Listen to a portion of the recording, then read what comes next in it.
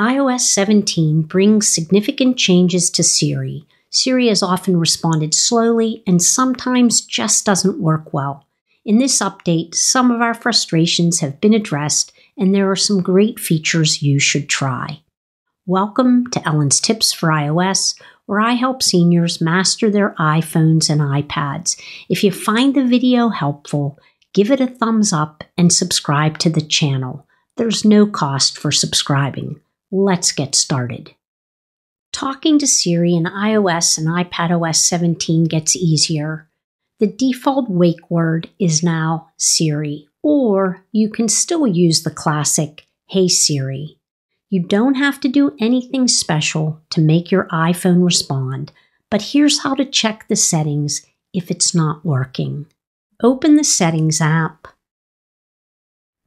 tap on Siri and search tap on Listen For. And at the very top, this is the default setting, and I'm not going to say it because it will trigger. So you can choose which setting you want to use. And if it's not working, just come in and make sure that you have a setting or an option selected. And now you shouldn't have any problems using Hey Apple Lady. Two new British voices have been added and are far more realistic than the originals, and they're called British 3 and British 4.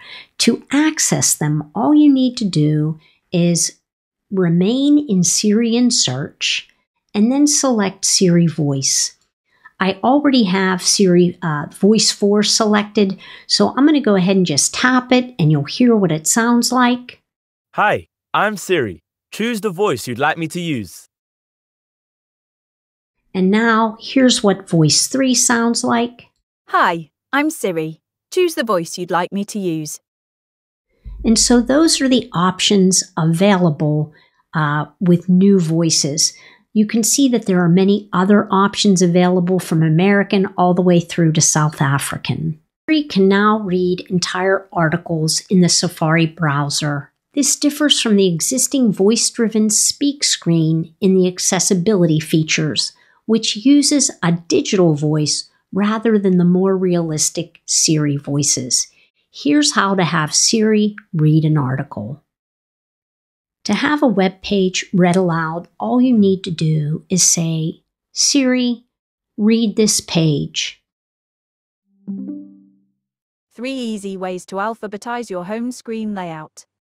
So many iPhone users ask if there's a way to alphabetize When you're finished, your just say, If you want Siri, stop.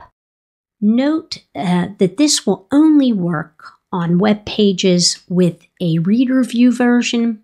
It removes everything except the web page's essential content, words, and images. They are making it easier for Siri to read aloud as a human might iOS 17 now lets you make back to back commands rather than having to say Siri between each one. This feature is enabled and is how Siri works. However, there are some limits.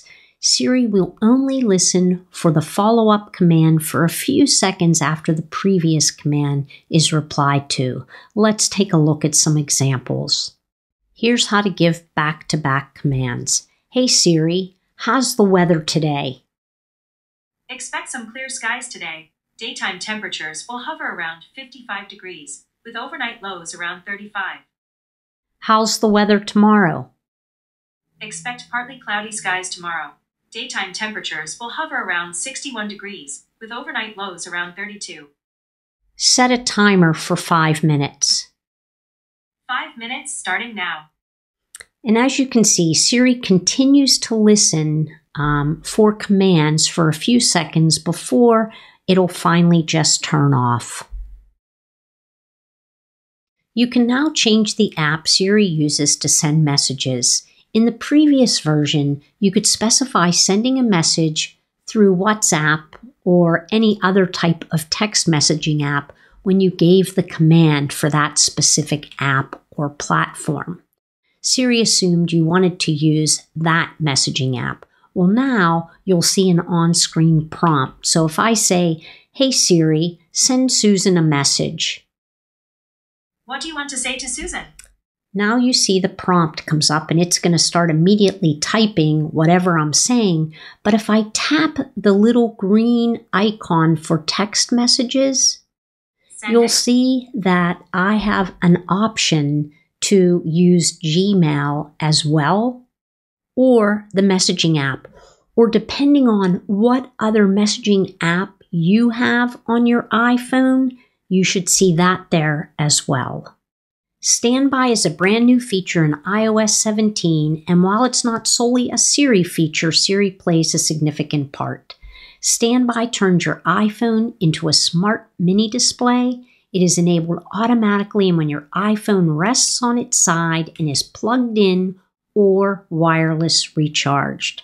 You can ask Siri requests in standby mode even if the screen is off. An example of this is setting a timer, and you'll see that the screen will fill with a color animation. Siri, set a timer for 20 seconds. 20 seconds, starting now. And as you can see, the color animation goes across the screen as the counter is uh, counting down. I will do a full video on the new feature of standby mode soon. The progress with Siri makes your interactions feel more natural. I love the back to back responses, and the British voices are fun. I appreciate standby mode, but use it more as a bedside clock, and having Siri makes it a fun feature.